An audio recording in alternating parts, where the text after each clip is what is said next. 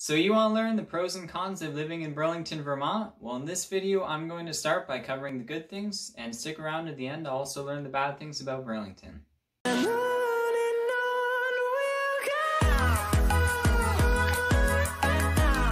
Okay guys, real quick, this is Jacob Barnes with eXp Realty in Vermont. If you want to learn more about all things Vermont related, please make sure to subscribe and also like and leave a comment. And if you are looking to buy or sell a home anywhere in Vermont, make sure to give me a call, send me a text, or shoot me an email. Alright, let's get into it. Starting with the pros. Number one, Burlington is the biggest city in Vermont and the most urban living, while still being a relatively small city, appeals to a lot of people. While Burlington only has a current population of 43,000, it's the closest you'll get to big city living anywhere in Vermont.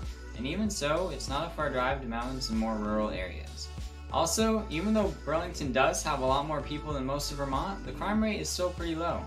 Number 2. Amenities. Being the biggest city in Vermont also comes with the most things to do.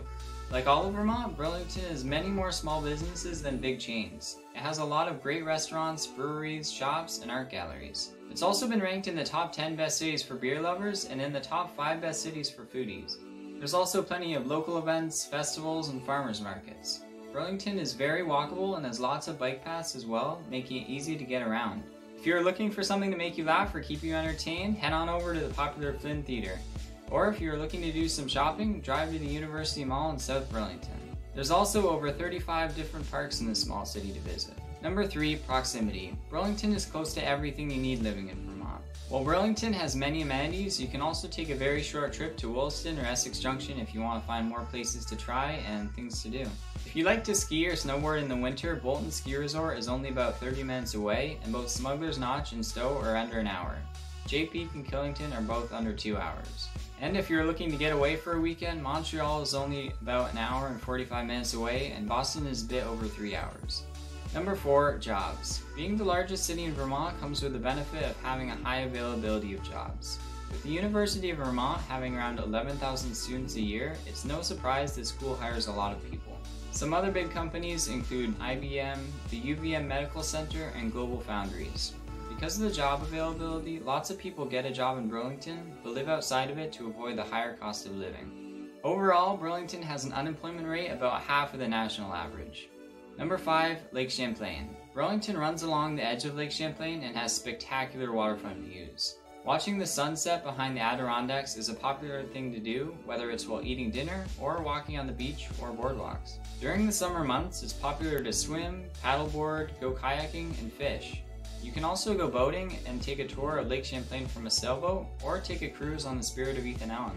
Having such a large lake so close is definitely a big benefit to the people of Burlington. Number 6. Education. Burlington is a college town. This is particularly noticeable when many college students leave the state during the summer because the city gets a lot quieter for several weeks. The University of Vermont, also known as UVM, as well as Champlain College are both in Burlington and both are highly rated schools. UVM has around 11,000 students annually, while Champlain College has around 2,100. And remember, Burlington only has a population of 43,000 people, so that's a significant amount of students. It makes sense that about 1 in 4 people in Burlington are from the age of 18 to 21. Apart from colleges, the local elementary and high schools are also highly rated. Also affiliated with the colleges, the UVM Medical Center is an academic hospital that serves Burlington and the surrounding areas. Since more rural areas don't have hospitals, it definitely is a plus to live near one. Now the part you've probably been waiting for, the cons. Number 1. Housing. It can definitely be a struggle to find a home if you are looking to move to Burlington, especially in the seller's market. Rentals are also extremely hard to find right now much of which can be attributed to the vast number of college students, but there is also a higher demand than there is a supply, with many of the out-of-state people looking to move to Vermont. While America's average tenant vacancy is just under 7%, Vermont's average vacancy is usually around 2%, but the last study showed that it's now around 1.1%. It's hard to say if or when the seller's market will go back to normal, but until then, good luck finding affordable housing. Number 2. Cost of living. It will cost you about 21% above the national average to live in Burlington. If you can find housing, it will cost you about 47% above the national average with a median home value of $400,000. The average rent for a two bedroom apartment is $1,600. Utilities are about 19% above the national average, and both groceries and transportation are 12% above. The average electricity bill is $220 per month, and the average phone bill is about $180 per month. A gallon of gas is currently around $3. Property taxes are quite high in Burlington and a big turnoff for a lot of people. On average, citizens of Burlington spend about $6,000 a year in property taxes, over double the national average. The property tax rate is about 2.06%. Burlington also has a sales tax of 7%, but that doesn't apply to food, clothing, or medicine. Vermont's income tax ranges from 3.35% to 8.75%. Just know it's going to cost you to reside in what's been rated one of the top 100 best cities to live in in America.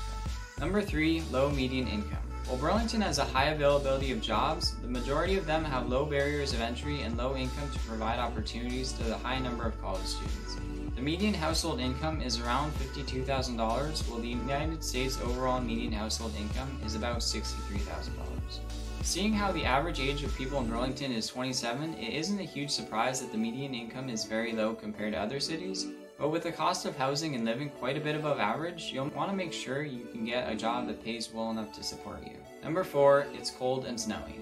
While it should be pretty obvious that Vermont gets cold and snowy, this probably isn't what attracts most of the citizens of Burlington. Around 6 months of the year we have snow, some years we get lots, other years we get hardly any snow. On average, though, we have the highest annual snowfall of any state. What this means is you will have to have your driveway plowed or shoveled every time it snows. You'll also probably want a car with a remote starter so you can give it time to warm up before you drive to work. And even so, you'll still have to scrape off ice and snow before getting in.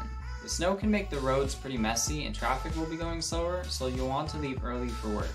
You'll have to get up earlier to do all these things, but it will also still be dark outside as the sun doesn't rise until around 7.30 in the winter months and it goes down around 4.30. Luckily, during the spring, our days start to get longer again, and during the summer, the sun rises around 5.30 and sets around 8.30. Shorter days in winter is definitely one of my least favorite things about Vermont. Alright, those are the pros and cons of Burlington, Vermont. Don't forget to like, subscribe, and leave me a comment. Let me know what you think. If there's anything I can do for you, don't be afraid to reach out. This is Jacob Barnes with eXp Realty, and I'll see you next time.